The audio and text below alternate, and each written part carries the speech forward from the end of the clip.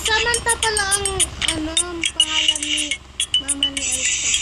Hindi, yung bata pa sila Agnor tapos si Iduna. Ang dating pangalan ni Iduna ay Samantha. Pero paglaki niya, Iduna na. Ang papa niya, ano, Simrin Agnor. yung bata pa sila. Ang bata.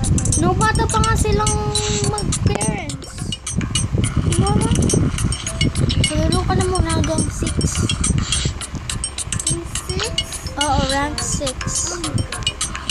New Year ka na yan. Kapag six rank six New Year, Oo. Ang, ang last holiday ay Christmas.